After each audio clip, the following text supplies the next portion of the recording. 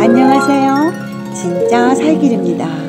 20세기에 가장 강력한 치유자였던 잔지 레이크 목사님은 수백 개의 교회와 사역 단체들을 세우셨습니다. 치유에 대한 그의 가르침과 경험들은 정말 놀랐습니다.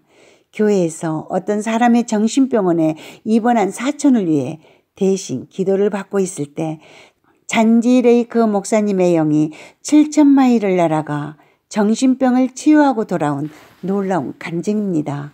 1912년에 나는 남아프리카 공화국의 요하네스 보게에 있는 사도교회를 담임하고 있었습니다. 우리 조직의 중요한 가르침 중 하나는 하나님의 아들이신 예수 그리스도 안에서의 믿음을 통한 치유 사역이었습니다. 그 땅 곳곳에서 아픈 사람들이 모여들었고 믿음의 기도와 믿는 자들이 손을 얹음으로써 수천 명이 치유를 받았습니다. 그때 우리 교회는 굉장한 영적인 축복을 받으며 능력의 시기를 지나고 있었습니다. 다양하고도 놀라운 성령의 나타나심과 같은 현상들이 빈번하게 일어났습니다. 주일 아침 예배에서 해중 기도를 드리기 전이었습니다. 해중 가운데서 한 사람이 일어나더니 성도들에게 웨일즈에 사는 사촌의 치유를 위해 자신이 대신 기도를 받기를 원한다고 말했습니다. 그는 그 여성이 심한 정신질환으로 웨일즈의 한 정신병원에 수용되어 있다고 말했습니다. 그 정신병원은 교회에서 바다 건너 7천 마일 떨어진 곳에 있었습니다.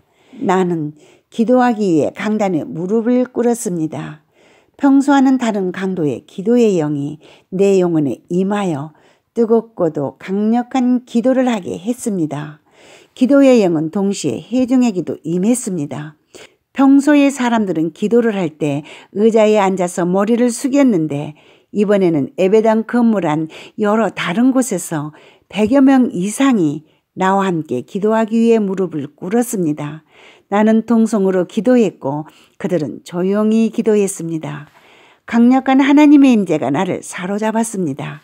내 영은 성령님의 강력한 능력을 분명하게 느꼈고 순간 내가 귀신들을 쫓도록 성령님이 기름 부어 주셨음을 느꼈습니다. 나의 영의 눈이 열렸습니다. 내가 영으로 보니 해중 가운데 기도하는 많은 사람으로부터 역사하는 능력을 가진 한 줄기의 빛이 반짝이며 뻗어나왔습니다. 기도가 계속되면서 기도하는 사람들에게서 나오는 이 빗줄기들의 수가 점점 늘어났습니다. 그 빛들 하나하나가 내 영혼에 닿자 나의 강력한 영적 능력이 점점 증가해 가더니 나는 거의 그 힘에 압도당하게 되었습니다. 이런 일이 일어나는 동안 나는 영적인 능력을 의식하고 있었고 엄청난 힘을 발휘하며 기도문을 선포했습니다. 갑자기 내가 몸 밖으로 빠져나가는 것 같더니 놀랍게도 요하네스버그에서 300마일 떨어진 킴볼리 시내를 빠르게 지나가고 있었습니다. 다음에 보게 된 것은 천마일이나 떨어진 해안선에 있는 케이프 타운의 시내였습니다.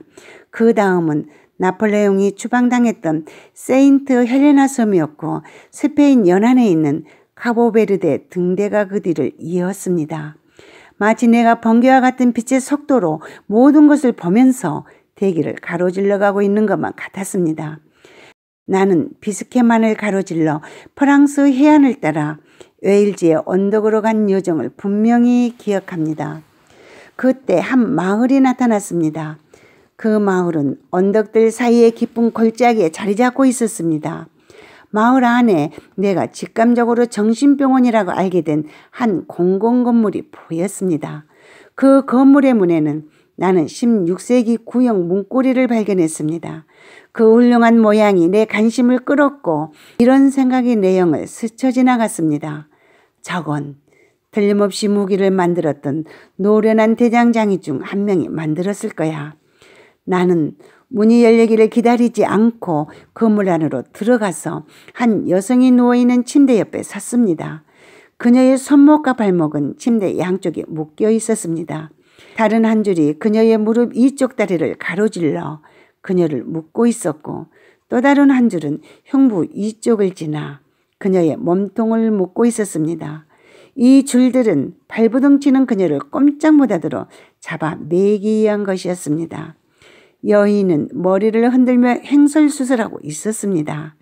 나는 그녀의 머리에 손을 얹고 전심으로 그녀를 사로잡고 있는 악한 영이 떠나가고 하나님의 능력으로 나음을 받을 것을 하나님의 아들 예수 그리스도의 이름으로 명령했습니다. 잠시 후 그녀의 얼굴이 변하기 시작했습니다. 표정이 부드러워지고 총기가 돌았습니다. 그러더니 그녀가 눈을 떴고 나를 보고 미소를 지었습니다. 나는 그녀가 치유받았다는 것을 알았습니다. 내가 남아프리카 공화국으로 어떻게 돌아왔는지는 전혀 기억이 나지 않습니다. 순간적으로 내가 여전히 무릎 꿇고 기도하고 있었다는 것을 알게 되었고 교회 예배의 전체 상황을 지각할 수 있었습니다. 3주가 지났습니다. 사촌을 위해 기도를 요청했던 그 친구가 웨일즈의 한 친척이 보낸 편지를 들고 찾아와서 기이한 일이 일어났다고 말했습니다. 웨일즈의 정신병원에 7년 동안이나 갇혀있던 사촌이 갑자기 온전해졌다는 것이었습니다. 그들은 이, 이 일을 어떻게 설명해야 할지를 몰랐습니다. 의사들은 가끔씩 일어나는 불가사의한 일 중 하나라고 결론 지었습니다. 그녀는 완전히 나았고 친구들 곁으로 돌아갔습니다. 20세기에 가장 강력한 지우자였던 잔지 레이크 목사님의 간증이었습니다. 지금까지 진짜 살길이었습니다.